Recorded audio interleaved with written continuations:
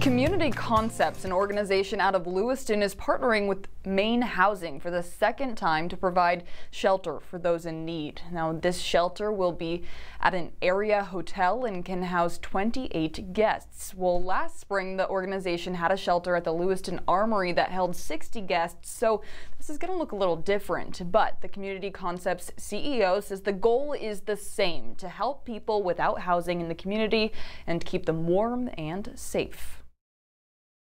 It's a different arrangement.